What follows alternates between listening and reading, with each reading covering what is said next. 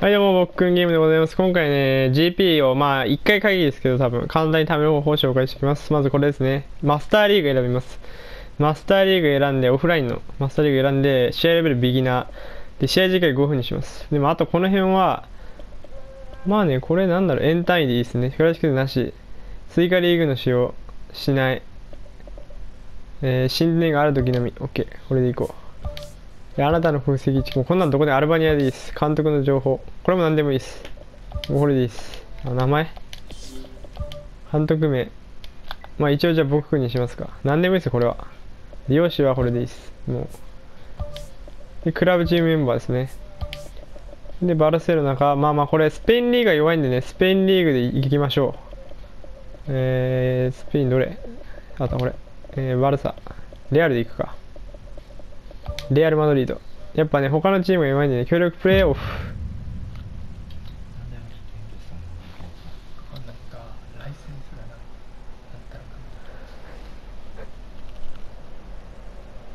まあ、この流れでいくんでね。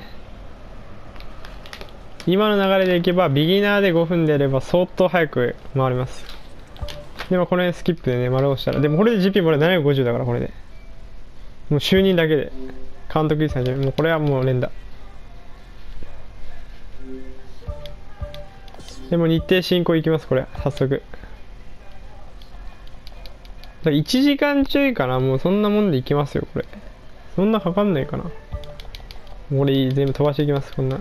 適当に。行こう行こう。なんかよくわかんないけどもうこの辺も飛ばします。大体ね、多分溜まると思うんですよ、結構。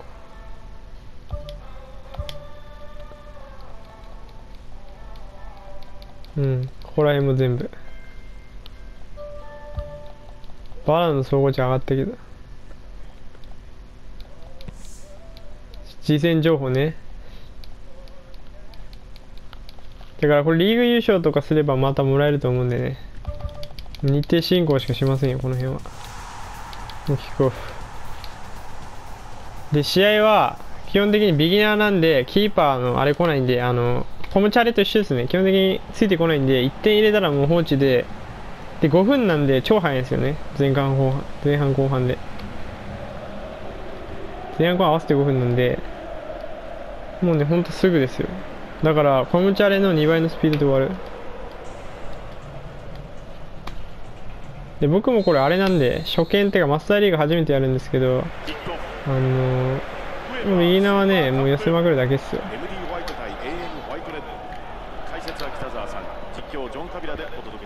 もうこれ決めていくこの辺り。ほら時間の進むスピードが速いでしょあの普通のコムチャレと比べて。確かにコムチャレでは GP はもらえるけどこっちの方が多分さあの総合的に考えたらあの時間1時間でいうと多分結構 GP もらえると思います。これも放置。これ放置していきます。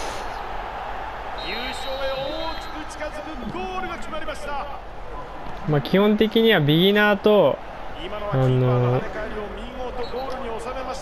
試合時間5分でいけば、まあ、あとはね道なりに沿ってもう日程進行をしてるだけで試合は適当に進めていくだけで GP たまると思うんでね。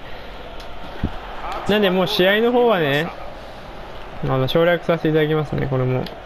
なんでまあこういう流れですね。でこの試合が終わってまた日程進行を進めていってリーグ戦とかもあるんでそれをやっていくと。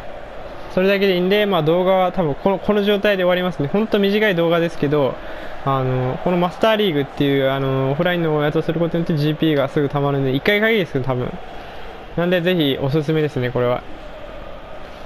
ということで今日の動画はね、まあ、マスターリーグの、まあ、紹介、その GP ダメの紹介ということで終わりたいと思います。でね、今日はこの辺で終わって、えー、次回また、次回何の動画出るかな？わかんないけどね。わかんないです。とりあえず、えー、チャンネル登録、面白ければチャンネル登録、コメントの方よろしくお願いします。えー、参考になったらグッドマークとかよろしくお願いします。ではね、今日はこの辺で終わります。ごちそうさまでした